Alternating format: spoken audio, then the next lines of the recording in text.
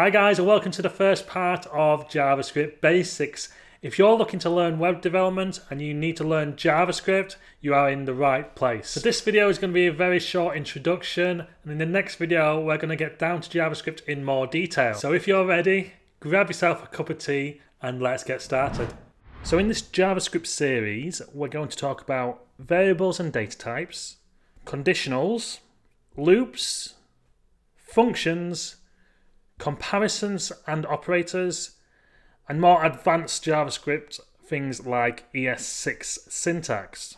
So in the first part, I'm going to talk about what JavaScript is and how it can be used and show you some examples. JavaScript is one of three building blocks of the web. So if you've been following me recently, you've seen tutorials both on HTML and CSS.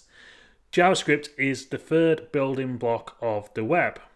JavaScript adds behavior and interactivity to a site. Some examples of how it can be used are opening, closing a mobile menu, getting data from another source and displaying it on our website, and making pop up modals, all of which I have tutorials for on my site. I'll leave those links in the description. JavaScript started life as a client side language, meaning it was built into your browser. But recent times using Node.js we can now use it on the server side, meaning it can receive requests from our browser, manipulate data from databases, and send it back to us in our browser, along with lots of other things. Also, using some very smart tools, we can now write applications for desktop, smartphones, and we can also make games using JavaScript. So, JavaScript is becoming a great all in one language and it's listed by GitHub and Stack Overflow as one of the most popular programming languages. Now, JavaScript is always being added to, and ECMAScript is a specification that determines what new features get added. So you can often find newer, sleeker ways of doing things in JavaScript than we used to be able to. So I just want to show you how we can write JavaScript directly in the browser. So if we right click anywhere on the page, click inspect, this brings up our DevTools. Now you can see console here. If we give that a click, we have a console window so we can add our JavaScript. So we can do some maths by saying 3 plus 3 equals 6. And all the maths we want to do in here, we will get the sum of. We can also show an alert, so the browser's default pop-up. And how we do that is, we type the word alert, followed by a curly brackets, then we can add a message with quotes. So we can say, hello world. Close it with a curly bracket, close it, sorry, close it with a parentheses and a semicolon will finish our line.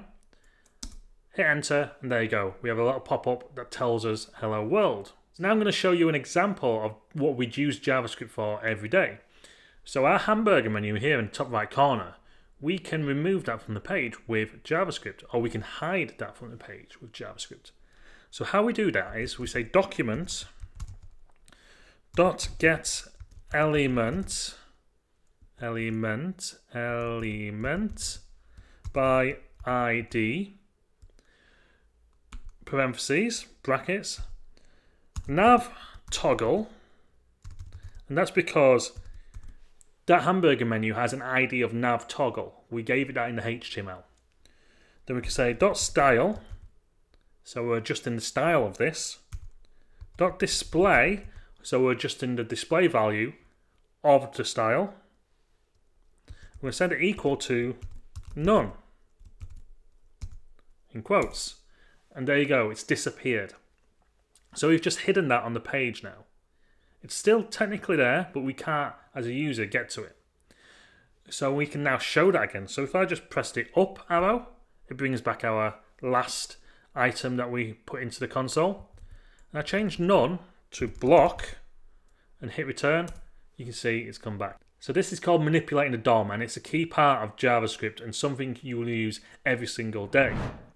Thank you for watching and if you enjoyed this video, don't forget to give it a like and subscribe and I will see you in the next one.